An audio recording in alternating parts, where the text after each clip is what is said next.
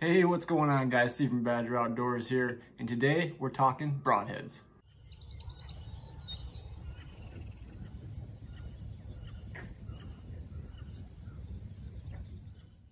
Alright guys, so today's video I'm going to be going over some broadheads that I picked up. I'm going to be doing a little review on them. But first I want to remind you, if you haven't done it yet, hit that subscribe button, uh, give me a thumbs up on uh, this video, and uh, go check out some of my other videos out there. So that being said, let's begin. So as you know, um, if you're a hunter, there are bow hunter, crossbow hunter, you know there is a lot of uh, selection when it comes to broadheads out there. So um, they they can get pretty expensive too. So I kind of wanted to find out if um, some of the cheaper broadheads uh, can do just as uh, good as the more expensive broadheads. Um, for example, here I have uh, this right here, which is a Montec. I believe it's a G5. Uh, I actually took um, my deer this year with this guy, and uh, I've, I've used a few different kinds of broadheads. Uh, here's another one that I've used in years past, which is the Stinger. Um, they're both fixed fixed blade um, broadheads. Not a huge fan of mechanical broadheads. Tell you the truth, I've never actually used them, but uh, I don't know, I, I just feel more comfortable with a fixed blade. That way you know that there's no possibility of a malfunction where the blades don't do what they're supposed to do. I've seen videos where um, broadheads have actually uh, ricocheted off the animal, so uh, I don't know, I just don't, I just don't feel 100% using uh, uh, mechanical. So I like my, uh, my fixed blades, and uh, yeah, so if you like mechanical, um, so be it. Um, it's just personal preference to me, but uh, I like uh, the fixed blades. So that being said, I uh, was at Walmart and uh, I was looking at their broadhead selection and I came across uh, these guys right here, the Allen, uh, Allen brand. these are PowerPoint chisel broadheads. They are 100 grain, um, has a one inch cutting diameter and uh, it says right here on the package that you can use them on uh, bows and crossbows, which I am a crossbow hunter. So I uh, picked them up. These are, um, I believe they retail for like nine, just under 10 bucks. So about 10 bucks, a little bit over 10 bucks with tax and everything like that. They do actually make a even less expensive uh, um, set that are like $2 cheaper. They're like eight bucks, I think.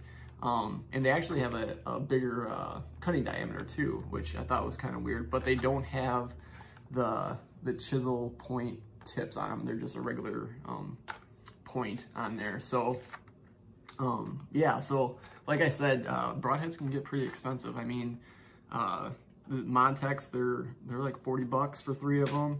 The Stingers are a little bit cheaper. They're like 30 bucks, I believe, for uh, three of them. So for a third of the money, um, almost a fourth of the money um, in some cases. You can get three of these guys.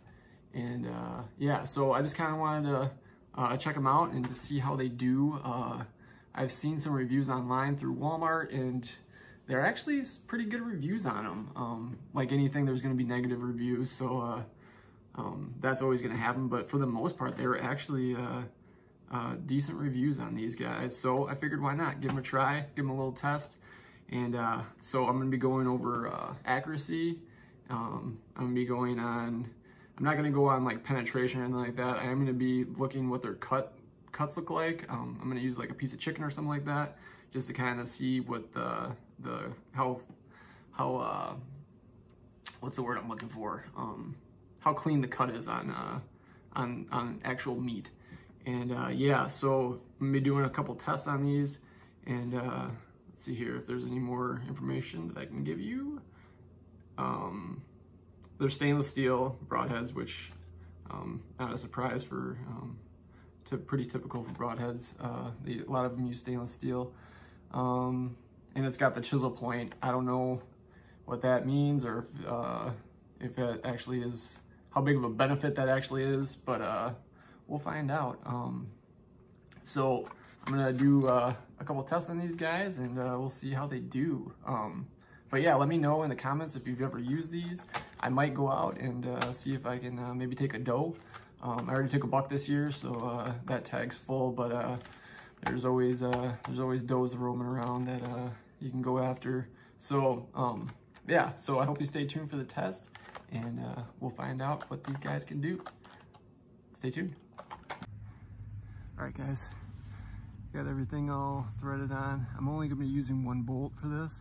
Um, I'm gonna shoot a few shots, see, uh, try to get the the closest grouping I can off of it. Um, but uh, yeah, so um, there's dog poop everywhere in this yard, but the sun's out. It's been raining for like the last like four days straight. So uh, we actually got a decent day out today. So uh, yeah, like I said, I'm using one. Um, try to shoot the tightest group I can with it and uh, let's see how it goes.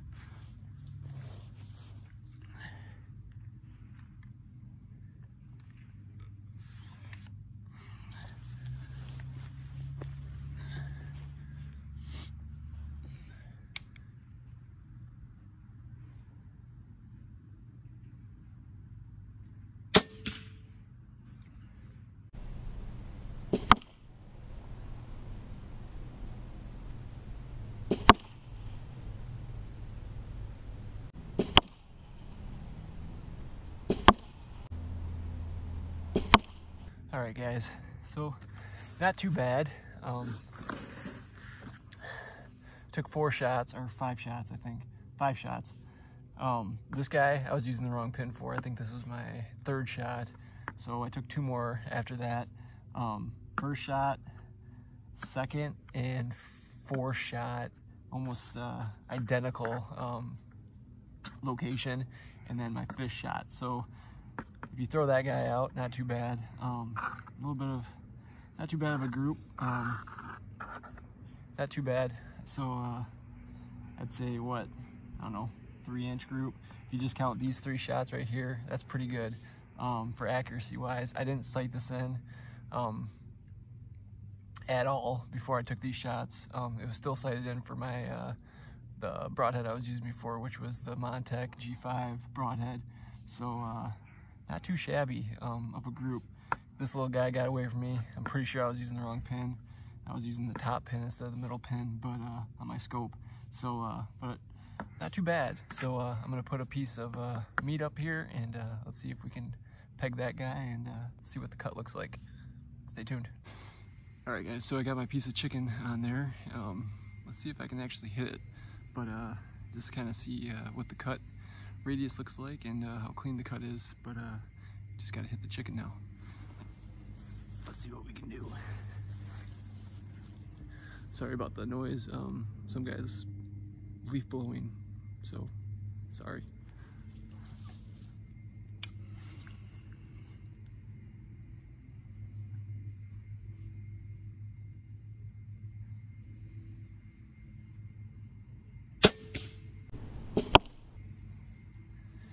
Didn't even come close.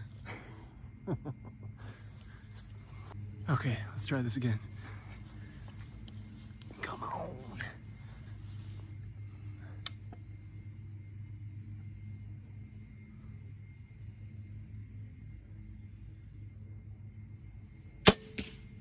A little bit to the left.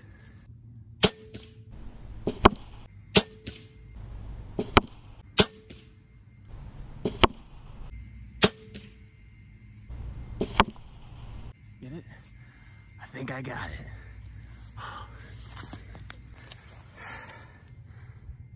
Finally got it. Let's go check it out a little bit closer. All right, guys, so we're back inside now. Um, I realized that there is a lot of dog poop in my yard that I need to pick up. Um, should probably pick up uh, a lot of landmines out there that I was dodging. But anyway, um, so it took me a few shots to hit the chicken breast.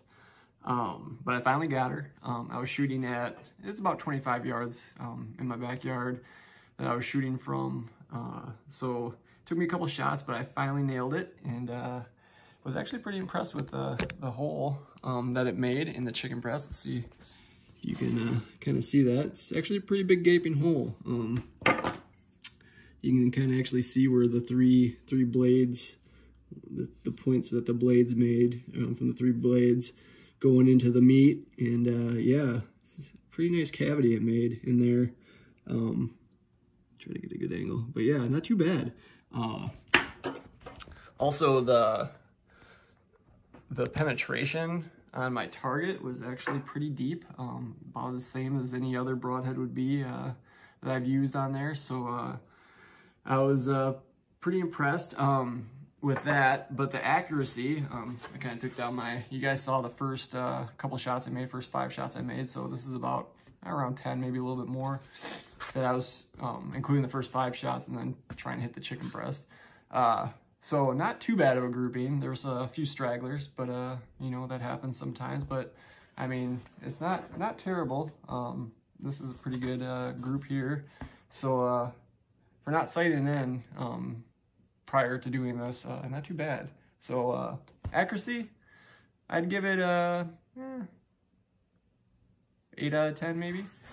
Um, but that could be uh, shooter error too, you never know. Um, I was shooting from the prone position, but uh, I wasn't actually resting on anything. So uh, maybe if I would have used an actual rest, I could have got a little bit more more accuracy out of it. But uh, this is the broadhead that I was using. I did notice as the more I shot, this little tip here kind of bent a little bit, which is pretty typical in uh, any broadhead. Once you start shooting it um, through some uh, harder material um, multiple times. But uh, yeah, this started to bend a little bit, but it didn't really uh, affect the accuracy. Uh, that happened pretty early on in my shot, so it didn't really affect the accuracy too bad. Um, I did break uh, a vane on one of my bolts, but oh well. That's not too hard to fix. Um, so yeah, uh, you can kind of see the design of the broadhead a little bit better um, here. Uh, pretty typical three blade broadhead, but uh, not too shabby. Um, accuracy wasn't bad. Uh, the the hole size was pretty decent. It cut through that chicken pretty well. So uh, um, they say that it's all about the, the shot placement. So uh, I agree with that. I'm pretty sure uh, as long as your shot's uh, where it needs to be, which judging by the accuracy of this, you could probably get it, you could probably dial it in pretty good um, to get your shot where it needs to go. So uh, I definitely think this uh, will be a pretty effective broadhead out in the field. Um, like I said, I'm gonna try and get out there and uh, see if I can find uh, maybe a doe to, to put in the freezer with it and hopefully I have a little bit of luck. Um, there's not too much damage to the blade either from shooting through that cardboard multiple times.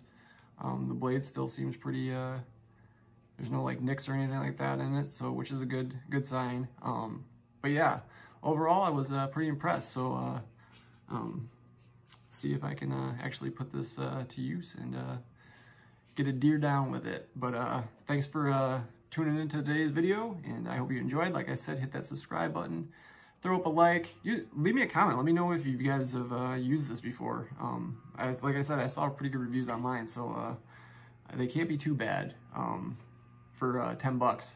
So uh, I'm always looking for the deal. Um, I'm a pretty frugal guy. I work hard for my money, so I kind of want to, you know, you don't want to go too cheap on stuff sometimes, um, but you don't, you know, you don't necessarily have to buy the most expensive thing um, in a lot of cases. So you just kind of got to do your research. So um, yeah, so thanks for uh, joining joining me today, and uh, go check out some of my other videos, and I hope to see you again soon.